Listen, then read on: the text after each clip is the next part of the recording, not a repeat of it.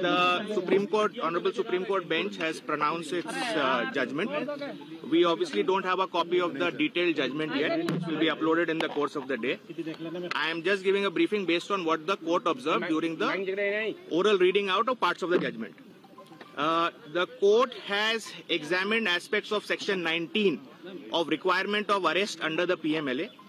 There were certain legal issues which arose from that, which especially in the context of whether there is a requirement of necessity of arrest in addition to the requirement of section 19 which are stipulated in that section. Those aspects the court has referred to a larger bench and that outcome we'll have to await.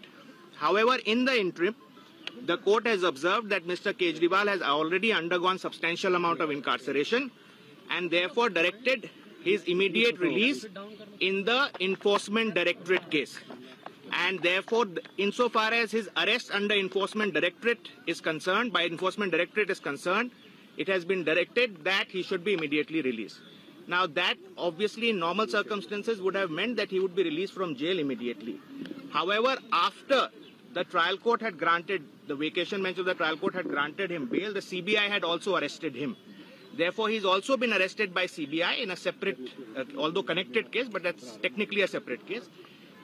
Mr. Kejriwal has initiated proceedings against that also. That is pending and coming before High Court on 17th. So depending on the outcome of the CBI case, his actual release from jail will depend on that. But insofar as ED is concerned, he is no more required to be in custody as per the Supreme Court order in the ED matter. Now, in, and, and insofar as uh, Hindi, uh, Mr. Vivek Jain. विवेक जी देखिए supreme court में हमारी याचिका के अंदर दो ground एक एक एक ग्राउंड था मेरिट के ऊपर कि on the merits it is not required to be arrested दूसरा था ग्राउंड की नेसेसिटी क्या है अरेस्ट की ज़रूरत क्या है अरेस्ट की।